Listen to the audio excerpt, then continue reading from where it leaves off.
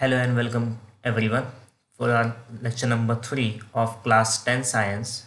Okay, so we have started our chapter gravitation and we have studied about gravitation, then universal law of gravitation by Sir Isaac Newton, and also we have seen the three laws by Kepler.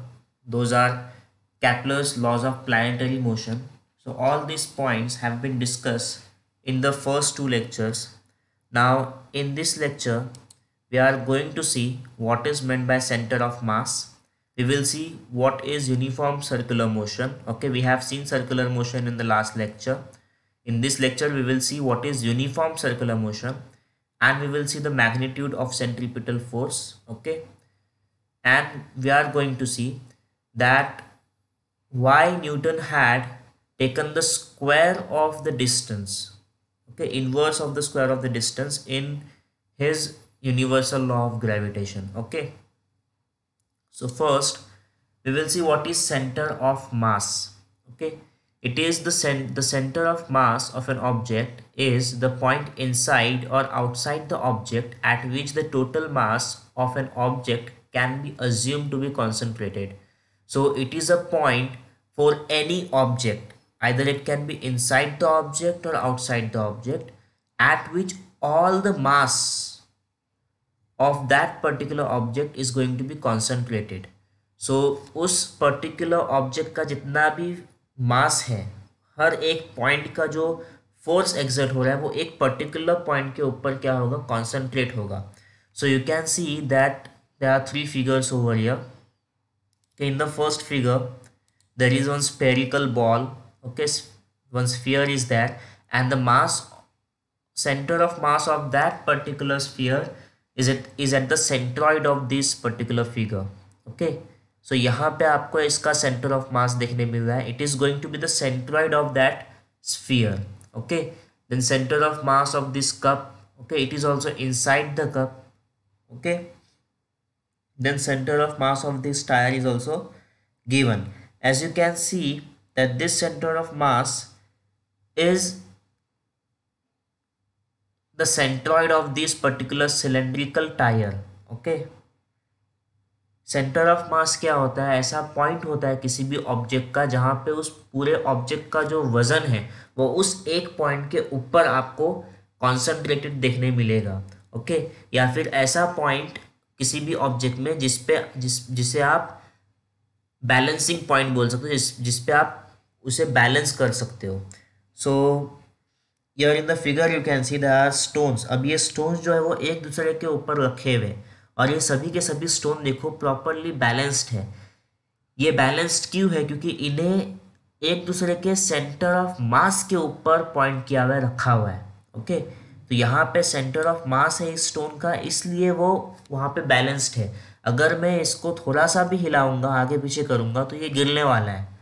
Okay तो centre of mass क्या होता है? ऐसा point होता है जिसके ऊपर उस ऑब्जेक्ट का पूरा मास कॉन्सेंट्रेटेड हो ओके पूरा वेट कॉन्सेंट्रेटेड हो। So that is centre of mass now we will see what is uniform circular motion okay we have seen what is motion motion is nothing but the change in position of a particle with respect to surrounding then we know what is circular motion it is a motion of a particle और object perform along the circumference of a circle ऐसा कैसा ही motion जो circle के circumference के ऊपर perform किया जा रहा है, वो मोशन को हम लोग क्या बोलेंगे? सर्कुलर मोशन बोलेंगे। अब यूनिफॉर्म सर्कुलर मोशन क्या है? It is a motion in which a particle or an object is performing circular motion with constant speed that motion is called as uniform circular motion तो ऐसा circular motion जिसमें जो object है या फिर particle जो है, जो मोशन परफॉर्म कर रहा है उसकी स्पीड चेंज नहीं हो रही है। कांस्टेंट स्पीड के साथ वो मोशन को परफॉर्म करेगा। तो ऐसे मोशन को हम क्या बोलेंगे? यूनिफॉर्म सर्कुलर मोशन बोलेंगे। इसका सबसे अच्छा एग्ज़ाम्पल क्या है? हमारा वॉच का वॉच का जो टिप होता है ओके आवर टिप या फिर सेकेंड का टिप वो अगर देखेंगे हम लोग तो वो सेम स्पीड से रोटेट करता है okay consider the second hand of second hand of a clock you will see that that second hand is going to rotate with constant speed वो सेम स्पीड से ही रोटेट करता है। Okay okay, उसको एक revolution पूरा करने के लिए सिक्सटी सेकेंड्स ही लगते हैं। सिक्सटी वन सेकेंड ही लगने वाले हैं या फिर फिफ्टी नाइन नहीं सिक्सटी सेकेंड्स ही। इसका मतलब क्या है? वो कांस्टेंट स्पीड से सर्कुलर मोशन परफॉर्म कर रहा है। क्या कर रहा है? कांस्टेंट स्पीड से सर्कुलर मोशन परफॉर्म कर रहा है। तो ऐसे मोशन को हम क्या बोलेंगे? यूनिफॉर्म सर्कुलर मोशन बोलेंगे। ओके? नाउ अगर सर्कुलर मोशन कोई ऑब्जेक्ट परफॉर्म कर रहा है तो ऑब्वियसली वो सर्कुलर मोशन परफॉर्म करने के लिए उसको एक फोर्स की ज़रूरत है और वो फोर्स क्या है हमारा? सेंट्रीपिटल फोर्स है। हमने स्टडी किया है कि सेंट्रीपिटल फोर्स जो है वो सर्कुलर मोशन के लिए होता है। किसके लिए होता है? सर्कुलर मोशन के लिए। ओके? सो so, अगर हम लोग एक रिवॉल्यूशन कंसिडर करते हैं सिंगल रिवॉल्यूशन सिंगल रिवॉल्यूशन इस पॉइंट से मोशन स्टार्ट हुआ और इसी पॉइंट पर आके ख़त्म हो रहा है। एक रिवॉल्यूशन अगर हम लोग पूरा कंसिडर करते तो हमारा डिस्टेंस क्या हो जाएगा इसके लिए? What is going to be the distance it is going to be the circumference of that circle तो सर्कल का सर्कमफ्रेंस क्या है? टू पाई आर ओके और इसमें आर क्या होगा हमारा? रेडियस होगा। What is going to be R R is going to be radius of that particular circle okay तो सेंट्रीपिटल फोर्स को हम लोग कैसे मेजर करेंगे? उसका फॉर्मूला क्या है? F is equals to M V square by R जिसमें एम क्या है? ऑब्जेक्ट का मास है ओके okay, जो आपका ऑब्जेक्ट है जो सर्कुलर मोशन परफॉर्म कर रहा है उसका मास है स्मॉल एम वी क्या है? हमारी वेलोसिटी है और आर क्या है? हमारा रेडियस है या फिर distance of that object with the centre of a circle okay so ये हमारा फॉर्मूला है to find the magnitude of centripetal force so M V square by R ये सेंट्रीपिटल फोर्स का फॉर्मूला है हमें याद होना चाहिए okay so now we can see why did newton assume inverse square dependence on distance in his law of gravitation? As we have studied universal law of gravitation in the last lecture and we have seen the formula of that particular law that is universal law of gravitation was what does it state? It states that that the in the entire universe every object attracts every other object in a universe okay with a definite force okay any object is going to attract other object with a definite force and that force is directly proportional to the product of masses of these two objects and it is going to be inversely proportional to the square of the distance between them so square of the distance between them so we have studied this particular law in the last lecture okay so कोई सा भी अगर दो object है suppose object ए और object B है universe में तो ये दोनों ऑब्जेक्ट एक दूसरे को अट्रैक्ट करने वाले हैं ओके तो ये जो अट्रैक्शन का फोर्स होगा, वो क्या होगा? It is directly proportional to the product of the masses so suppose object A का मास एम वन है ऑब्जेक्ट टू बी का मास एम टू है सो so ये दोनों का product so M one into M two इससे directly proportional है। और इन्वर्सली प्रोपोर्शनल किससे है वो फोर्स दोनों भी ऑब्जेक्ट के डिस्टेंस से वो क्या है? inversely proportional distance ka square. Now he has taken the square of the distance and he has taken it inversely proportional. So why Newton had taken the square of the distance inversely proportional? We have to go we, we will be studying this in this particular point now. Now if we take if a planet is revolving around the sun in a circular orbit in uniform motion, circular motion then the centripetal force acting on planet towards the sun is f is equals to mv square by r. Centripetal force क्या है? उस planet का फिर mv square by r होगा। Okay circular motion perform कर रहा है planet तो। Now, if we take distance travel by the planet in one revolution obviously एक रिवॉल्यूशन परफॉर्म किया है प्लानट ने तो सर्कुलर ऑर्बिट है तो पेरीमीटर ऑफ़ ऑर्बिट क्या होगा हमारा? टू पाई आर होगा okay so two pi R हम लोग ने लिख दिया डिस्टेंस ट्रेवल्ड ऑब्वियसली आर क्या है हमारा? Distance between the planet and the sun R क्या है हमारा? Distance between planet and sun और टी क्या है हमारा? टाइम ऑफ़ वन रिवॉल्यूशन एक रिवॉल्यूशन पूरा करने के लिए जो टाइम गया है, वो हम लोग उसको रिप्रेजेंट कर रहे हैं कैपिटल टी से। सो वेलोसिटी का फॉर्मूला क्या है? Distance travelled upon time taken so perimeter of orbit that is two pi R distance travel कितना हुआ? एक रिवॉल्यूशन में। सरकमफ्रेंस के बराबर। सो टू पाई आर आ गया हमारा।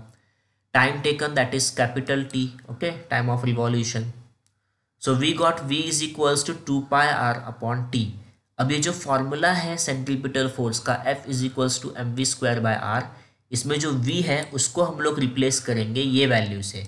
Two pi R by T से रिप्लेस करेंगे। सो so, हमें क्या मिलेगा? Two pi R upon T bracket raise to square okay M V square है तो obviously two pi R upon T bracket raise to square लेना पड़ेगा हम लोग को। नाउ टू का स्क्वायर फोर आ गया पाइस का स्क्वायर पाई स्क्वायर आ गया।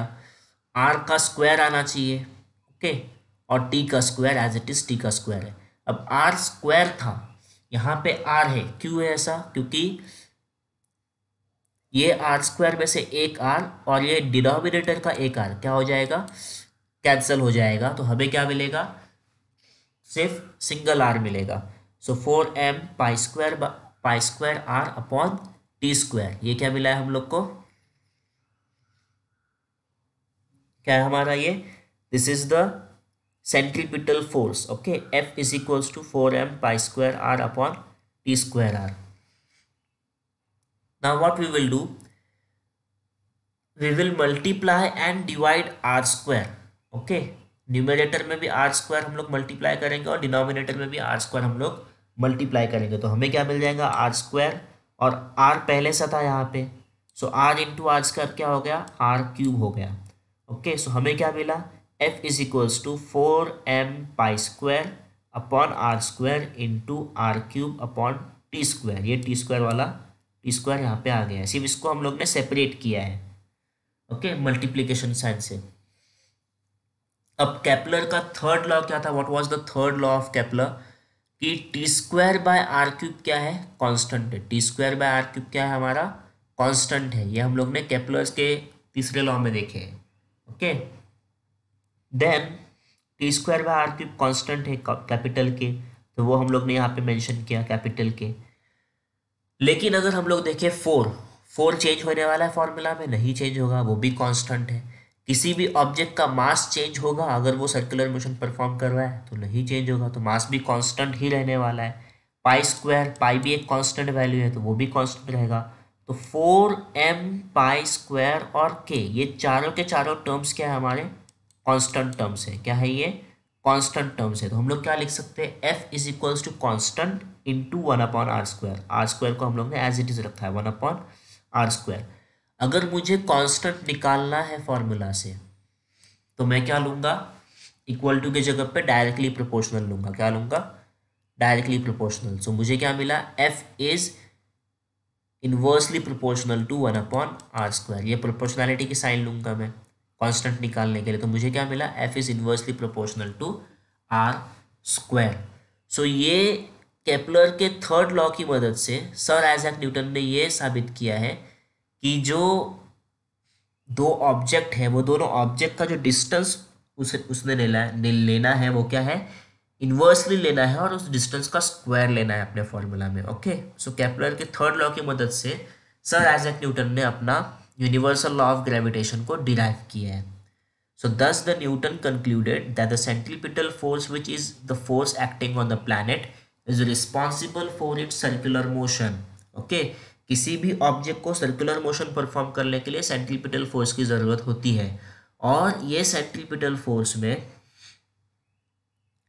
स्क्वायर ऑफ़ द डिस्टेंस जो है डिस्टेंस जो है, दोनों भी ऑब्जेक्ट के बीच का वो क्या है इन्वर्सली प्रोपोर्शनल हमें लेना है। ओके सो न्यूटन ने यही लॉ को आइडेंटिफाई किया और उसने क्या कहा कि द फोर्स ऑफ़ ग्रेविटी उसने आइडेंटिफाई किससे किया अपने लॉ कैपलर के थर्ड लॉ को? ग्रेविटी ग्रेविटेशनल लॉ से। आइडेंटिफाई आइडेंटिफाई किया है। ओके फोर्स जो है ग्रेविटेशनल फोर्स उसको उसने रिजेंबल किया है सेंट्रीपिटल फोर्स के साथ में और उसने क्या बताया है? Universal square law of gravitation मतलब कि यूनिवर्सल लॉ ऑफ़ ग्रेविटेशन को उसने डिराइव किया है। Okay by using the third law of Kepler